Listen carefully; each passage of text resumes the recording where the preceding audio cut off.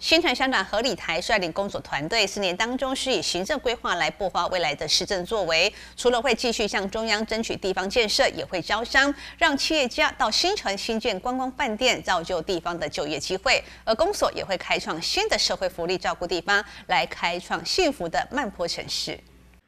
新田乡长何立台在一百零八年十月二十五号上任之后，就积极的向中央、花莲县政府立法委员、县议员争取经费来擘画新城。四年当中，争取了十八亿来开创新城重大建设，同时也开创了新城乡十三项社会福利有感政策。乡长何立台表示，相当感谢乡亲在四年前让他担任乡长，而这次也获得乡亲的支持，继续连任。他会以回馈乡邻的心境来为乡亲做事。从今天开始。我们要重新再出发。过去的四年当中，县乡在各项的建设、各项的设服，在各位议员、代表、村长以及各位意见领袖、各位乡亲家人们的支持之下，各项的事务均在各位的协助、肯定之下，都能够来完成。要表达谢意。未来的四年当中，包括近的一年，我们公所。对未来都有很好的一个行政的规划，不管在建设的争取，在社会福利福利的这个推动，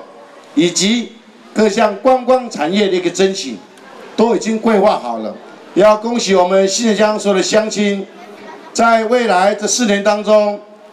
我们因为公所团队的努力，以及各界的一个支持，乡亲大家共同让所有我们台湾的产业。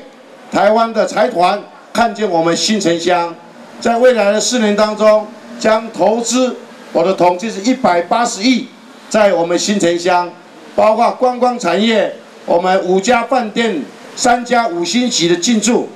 两家我们休闲农场等等，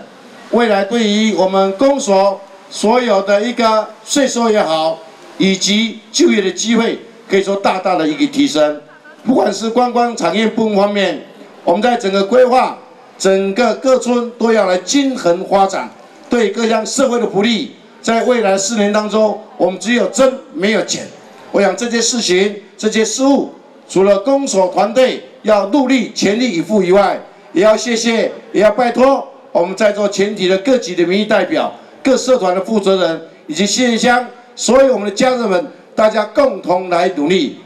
现任乡长何立台担任国新城乡民代表会主席，现任乡长、县议员资历可以说是相当的完整。这次回国担任乡长，再次连任，心中有相当多的愿景，将会一一实现。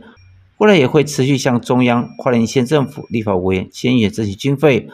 共同来打造快乐幸福的芒坡城市。记者九英新闻报道。